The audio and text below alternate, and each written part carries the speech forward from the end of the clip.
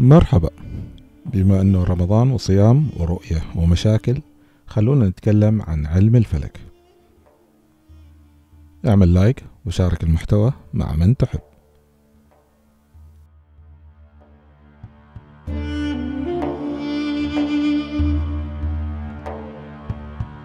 وأيضا في بدايات ظهور هذا العلم كان الإنسان يعد القمر أو الشمس أو الأجرام السماوية بمثابة الآلهة حيث أنه يقوم بعبادتها ومن أهم الحضارات التي كانت متأثرة بهذا العلم هم الفراعنة فقاموا بصناعة الساعات الشمسية وبنوا الأهرامات بناء على مواضع فلكية خاصة بهم لا يوجد لبعضها تفسير ليومنا هذا.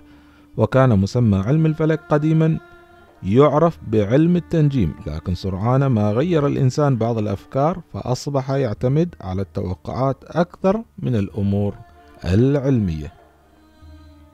وكان للعرب المسلمون فضل كبير في هذا العلم العريق فقد تفوقوا تفوقا باهرا ووضعوا خرائط الأجرام السماوية وقاس العالم الفلكي أبو الريحان البيروني محيط الكرة الأرضية ويعتبر أول من قال بكروية الأرض ودورانها حول الشمس. كما حدد علماء الفلك العرب أوقات الخسوف والكسوف ومنازل القمر وبينوا وضع الكواكب حول الشمس وطبيعة النجوم واختلافها عن الكواكب في مخطوطات عدة.